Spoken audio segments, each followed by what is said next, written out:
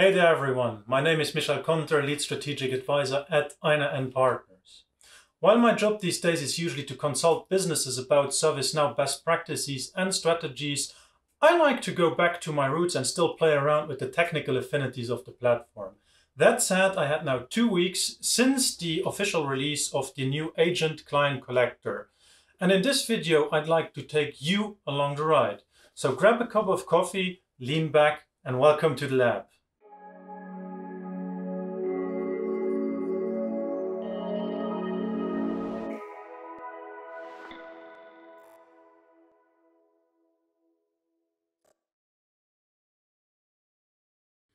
The setup for this lab on agent-based discovery is very simple. One Linux server running a mid server instance and one Windows Server 2019 running an agent client collector, short ACC. Let's first have a look at the mid server.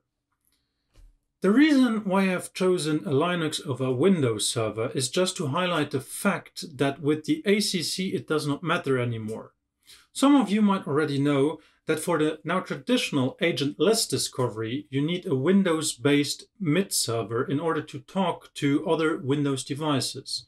Simply put, Linux does not speak PowerShell. As the ACC is now executing uh, commands on and the endpoints directly, the purpose of the MID server in this, in this scenario has shifted towards a middleware, enabling the bidirectional communication between the ACC and the given ServiceNow instance. Once the mid-server instance is running, properly connected to the given ServiceNow instance and validated, we want to set up the ACC listener. The only thing that you need to provide at this stage is a port. For this lab, I have chosen port 8097. Disclaimer, you want always to consult with the responsible stakeholders and teams within your organization about the most fitting configuration. We will also cover possible architectural approaches in a bit to get a better understanding of this. Uh, but now back to the topic. Once confirmed, the setup will create a MID web server.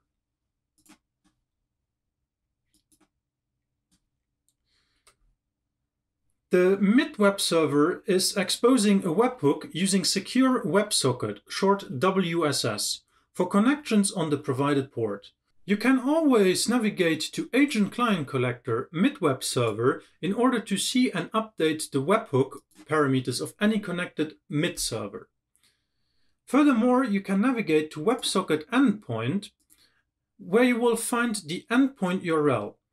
This field will provide you with the full webhook URL that you have to provide to the ACC during setup. What is also noteworthy on this screen is the accessible IP address field for external slash public networks. This is particularly interesting for any devices residing outside of the trusted network, example, an employee's laptop. Why do you ask? Well, it's time to cover possible architectures uh, first and then let's come back to the screen. Disclaimer first. You would always want to consult with the responsible stakeholders and teams within your organization about the most fitting architectural setup. Nevertheless, the following high-level depictions should give you a very good understanding when it comes to discussing the subject with them. The first figure shows devices with ACC installed that are located within a trusted network.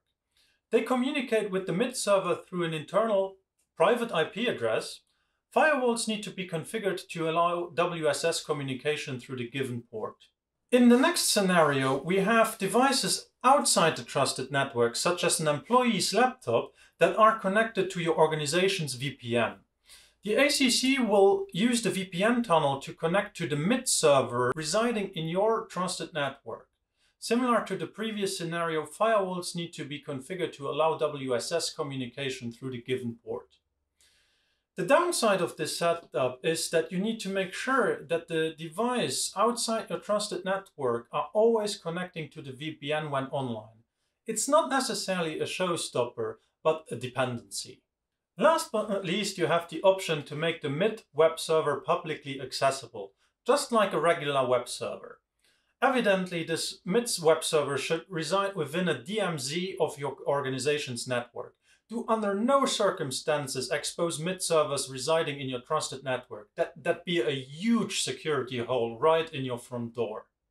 Now let's get back to the accessible IP address field on the WebSocket endpoint form.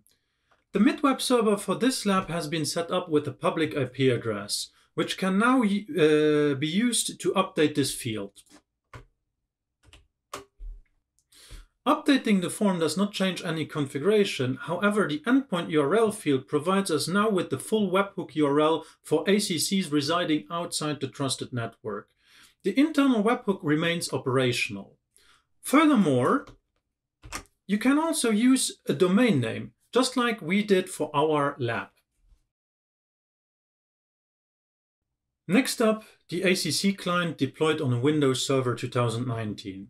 As you can see, it is running as a service. The installation process is rather simple. I just followed the instructions provided by ServiceNow. You also have the option to use a software distribution solution to deploy the ACC on a larger scale. Consult the available documentation and again, make sure to involve the responsible stakeholders and teams of your organization to discuss the configuration of the ACC clients. Looking at the contained config folder, we can see that the agent client collector is configured with a YAML file. You can also automate the distribution of this file and thus orchestrate the configuration of your ACC clients out there. The other interesting file is the check allowlist.json containing all the allowed commands for execution. Simply put, if you try to run, for example, PowerShell.exe write host hostname without defining it here, the execution of the command will fail. On a side note, you can also allow the execution of all PowerShell.exe commands by not defining arguments. I have done this with OS Query, which we need for the later ACC spoke demonstration. Obviously, you want to define the allow list properly. Again, involve the responsible stakeholders and teams of your organization. The cage folder is where the actual magic happens. This, fo this folder contains all the plugins, in other words, the scripts that are avail available to the ACC for execution. Let me demonstrate this with the out-of-the-box script that returns serial numbers.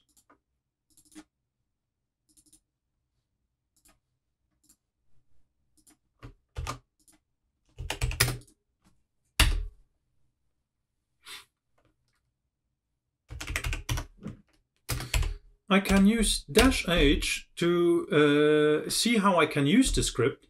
In this case, minus d is the most important parameter to provide because we need the parent cage directory for it to work. So let's try and do this.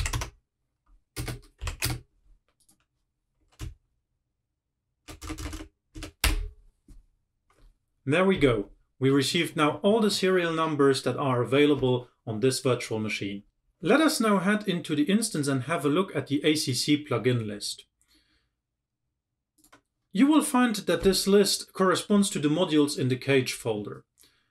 Attached to these plugin records are also packages that the ACC will download when needed. So when does the ACC download the plugin?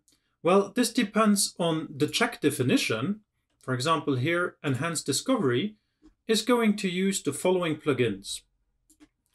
And then it also depends on the policy itself, because the policy will define which check to run. So simply put, the policy determines which check to run, and the check determines which plugin to use. Now, some of you might immediately recognize the potential here. The agent client collector is extensible by third parties, meaning anyone can write Ruby scripts and package them. We could potentially see that either partners de developing ACC tool sets and selling them through the ServiceNow store, or independent developers providing their creations in form of update sets. This, at least for me, is super exciting and looks like a very promising future. Let's see what the community will create with this at their disposal.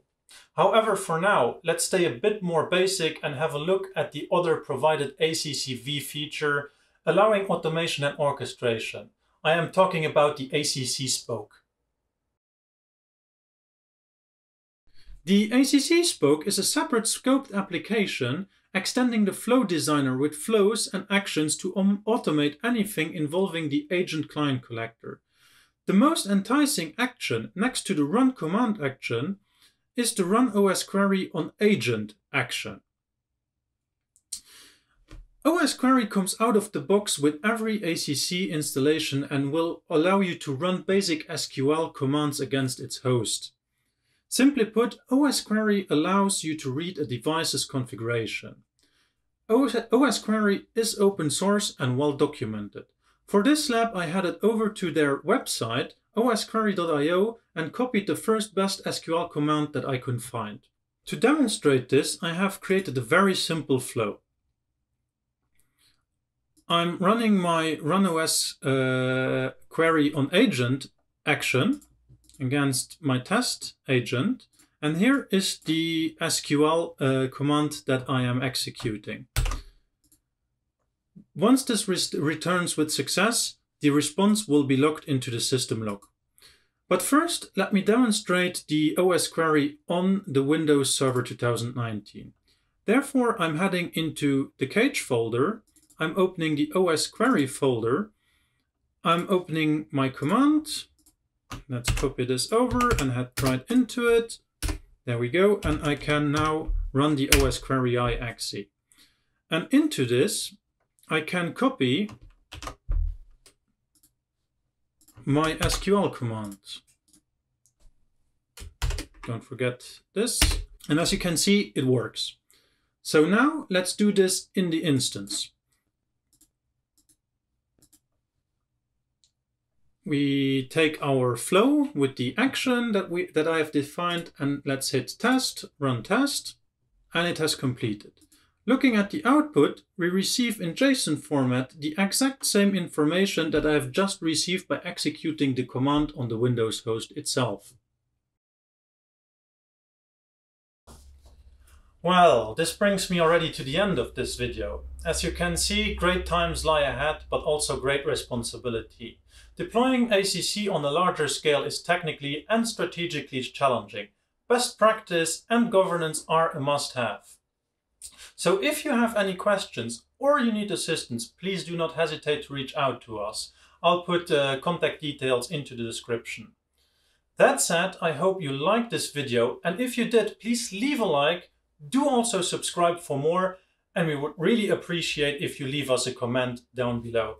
Thanks for watching See you next time.